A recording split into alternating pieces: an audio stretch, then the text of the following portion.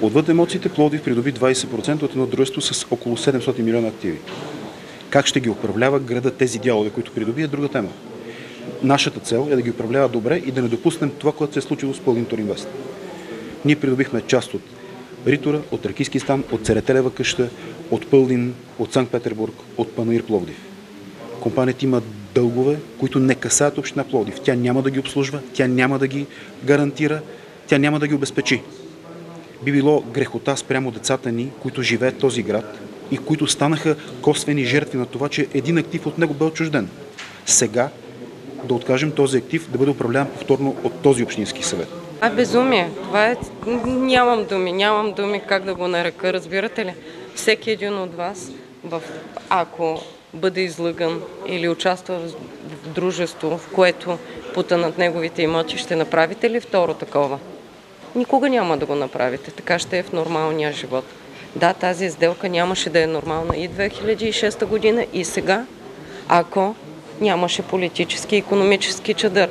И ония ден Корнелия Нинова ще ми заявява, че била твърда опозиция и на какво е твърда опозиция, като в момента, в който тя го заявява и минава сделка за стотици милиони левове.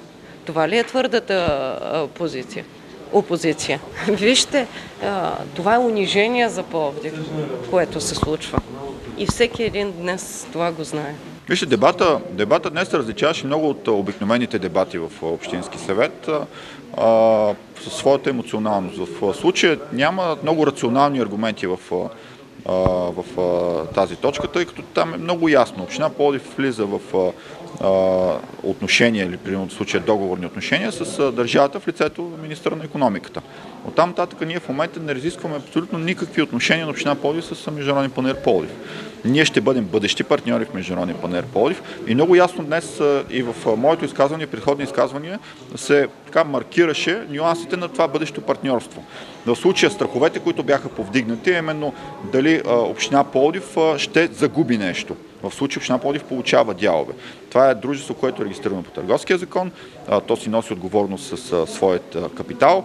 Имаше така много ясен дебат в това какъв е капитала на дружеството, реално какви са кредитите, кой е кредитора, дали капитала покрива кредитите. Много ясно става от днесната сесия, че, той, че капитал е в пъти повече, отколкото са кредитите. Говорим за капитал, който е стотици милиони и кредити, които са в размер на 50 милиона лева. Така че няма никакъв опасност за самото дружество, което е добре за Пловдив, тъй като ние искаме дружеството да бъде здраво, да работи а, и да носи ползи на града, тъй като работещ Пловдивски панер а, дава добавена стойност за град Пловдив. Освен имиджови ефект за града, то